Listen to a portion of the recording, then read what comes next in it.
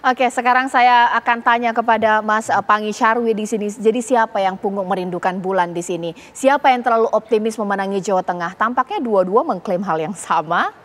Iya, ini kan sebetulnya adalah akan ada pembelajaran. Ya. Apakah betul Jokowi efek kuat di Jawa Tengah atau PDIP efek? Jadi menurut saya ini pertarungan kuncian antara personalisasi kandidat yaitu Jokowi efeknya dengan pertarungan partai ID, ideologinya PDIP. Kalau kita iris kan PDIP itu punya platform, punya ideologi, punya programatik. Nah, kemenangan di Jawa Tengah itu, Cak, dua kali pemilu okay. 2000, di rematch 2014-2019 itu karena combine mix antara Jokowi efek ditambah mesin partainya. Okay. Nah itu membuat dua kali pemilu tidak bisa dikalahkan kuat.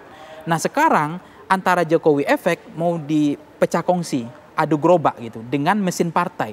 Nah inilah waktu yang paling tepat bagi PDIP membuktikan partai EDI di Jawa Tengah itu cak itu angkanya 13 persen. Jadi angka-angka rata-rata skor di Indonesia uh, paling tinggi itu Jawa Tengah. Yeah. Partai EDI orang yang merasa dekat dengan partai baik secara ideologis maupun secara psikologis. Artinya bisa dia kader, simpatisan atau anggota biasa. Hmm. Nah, efek uh, Soekarnoisme? Nah, itulah yang kemudian ada istilah lucu misalnya kalau dipenggal lehernya orang di Jawa Tengah tertulis tiga hal. Ada Soekarno, ada PDIP, ada Megawati. Darahnya ya. Darahnya begitu. Jadi itu yang kemudian challenge bagi Pak Jokowi apakah ini bisa mengubah mazhab lama ini karena misalnya e, kalau dalam gubernur pemilihan gubernur elektabilitas yang rendah seperti Mas Ganjar atau dulu ada Bu Sri atau yang lain-lain itu tidak pernah ada sejarah itu jagoan gubernur Jawa Tengah itu meskipun elektabilitas rendah, nggak pernah ada istilah kalah. Mhm. Siapa pun yang diusung oleh PDIP selalu menang. Mhm. Itu menandakan memang secara data saya statistik itu secara nasional ya. alasan orang memilih calon presiden dan wakil presiden 67 persen adalah center of candidate, Cak. Jadi alasan orang memilih calon presiden itu ya. dominan karena figur capres dan cawapresnya. Itu secara nasional angka-angkanya rata-rata.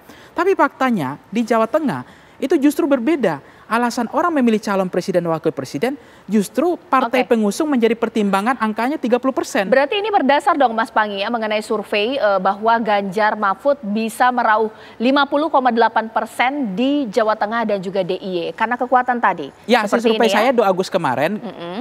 Jawa Tengah itu Ganjar 53 persen. Okay. Kemudian Prabowo 24 persen, yeah. Anies 15 persen. Itu di Agustus kemarin. Mm -hmm tiga Agustus, calon presiden ya. ya. Ini Jawa Tengah ya. ja ya. ya. Ini Jawa Tengah, Jawa ya. Tengah. Nah, konteks ini Cak makanya tadi apakah betul orang di Jawa Tengah itu memilih calon presiden dan wakil presiden preferensinya adalah partai pengusung? Okay. Atau orang memilih di Jawa Tengah itu adalah personalisasi kandidatnya, figur center of kandidat capresnya. Profil tokohnya. Nah ini yang di challenge. Nah okay. bagi Bu Mega ini waktu membuktikan pembelajaran ya. untuk Pak Jokowi bahwa Jokowi efek tidak ada pengaruh Jawa Tengah. Ya. Tetap uh, ada mesin partai tetap partai Edi kuat. Dan ya. jangan lupa yang kedua Cak begini. Jumlah suara yang dikumpulkan seluruh partai pengusung dengan jumlah yang dikumpulkan suara pribadi personal calon presiden itu lebih masih besar jumlah suara yang dikumpulkan pribadi calon presiden dibandingkan seluruh partai pengusung kalau dijumlahkan totali suaranya. Okay. Artinya memang total efek dari center of kandidat atau figur capres masih besar. Oke, sekarang saya akan tanya kepada Pak Wihadi karena tadi sedikit terganggu komunikasi saya dengan Pak Wihadi ini mudah-mudahan uh, komunikasi saya bisa lancar ya. Pak Wihadi, bolehlah dijawab sekaligus juga dijalit dijahit dengan apa yang dikatakan Mas Pangi Orang Jawa Tengah itu kalau dilihat darahnya hmm. ada Soekarno, ada Megawati. Hmm. Kok optimis sekali Gerindra mau menang mutlak di sana? Ya, jadi kembali saya katakan bahwa sekarang ini Jawa Tengah ada 50% pemilih muda, pemilih uh, milenial dan Gen Nah, uh, saya kira dalam hal ini perlu diperhatikan juga uh, milenial dan Gen itu apakah nanti uh, sama dengan darahnya yang seperti yang generasi yang yang, yang sudah tua. Jadi karena bagaimanapun sekarang anak-anak muda ini mempunyai uh, pemikiran yang lain dan mempunyai idola yang lain dan saya kira hal tersebut adalah merupakan satu hal yang perlu kita pastikan dalam 2024. Jadi saya kira dalam hal ini perlu kita sampaikan bahwa bagaimanapun juga Pak Prabowo pada saat uh, pemilihan itu 22 persen dan kita kemudian ada modal daripada partai pengusung. Kemudian juga kalau kita melihat ada figur daripada Mas Gibran dan juga didorong juga oleh mungkin orang yang pemilih Pak Jokowi.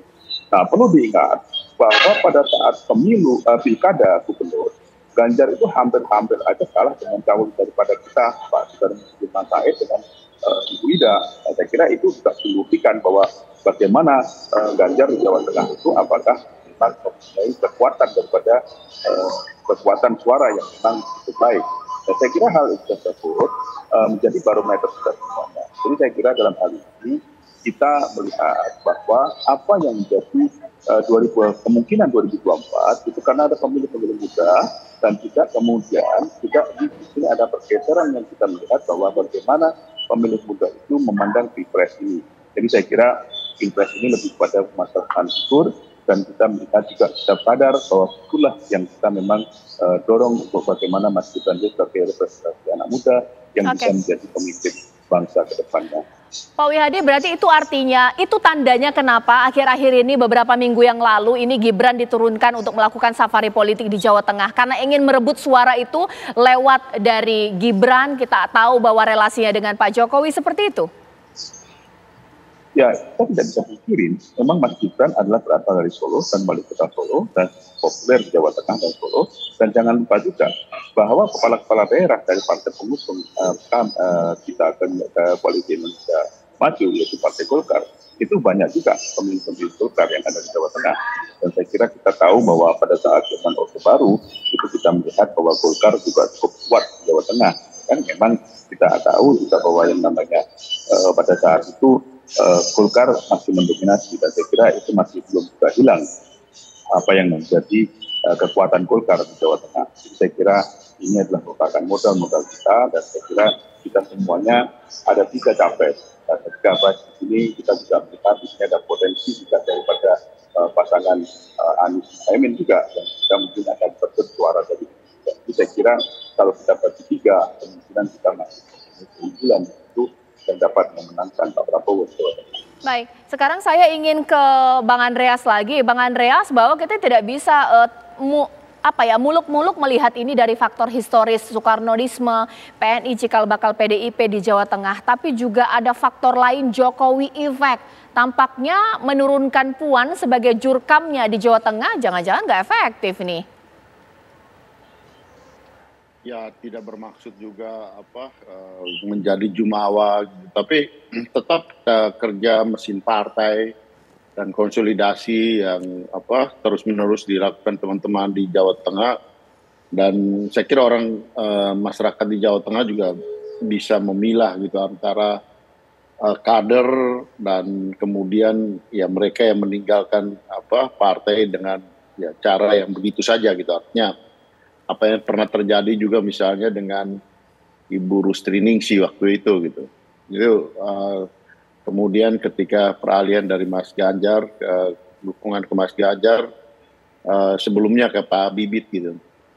Jadi memang uh, ya memang Jawa Tengah ini uh, punya uh, case yang unik buat PDI Perjuangan karena ya itu tadi gitu. Tapi juga tidak berarti bahwa dengan demikian ya, teman-teman ini kemudian merasa bahwa sudah uh, sudah menang tanpa harus uh, bekerja. Tapi yang saya tahu dan teman-teman di Jawa Tengah itu sangat apa um, sangat militan gitu uh, dan mereka paham akan disiplin dan bagaimana uh, komando dari partai untuk memenangkan Mas Ganjar. Oke, baik. Sekarang mungkin saya ingin uh, kembali mengecek kepada Pak Wihadi. Pak Wihadi, uh, bisa saya cek lagi komunikasi uh, dengan Pak Wihadi karena tadi sedikit terganggu ya. Lantas Pak Wihadi, uh, selain menerjunkan Gan, uh, Gibran untuk meraih suara di Jawa Tengah, uh, lantas ada strategi apa saja? Karena kita tahu bahwa kalau soal turun-turun ke wilayah, ke, uh, ke basis basis suara atau ke daerah di ada Jawa Tengah, Pak Ganjar juga melakukan hal yang sama. Ya, saya kira semuanya kita bekerja keras daerah Jawa Tengah. Saya kira ini adalah menjadi daerah yang kita katakan battlefield antara uh, Ganjar dan uh, Pak, Prabowo Jawa Tengah. Jadi ini memang uh, dua inilah yang mempunyai potensi uh, untuk pertarungan Jawa Tengah. Memang berbeda dengan Jawa Tengah.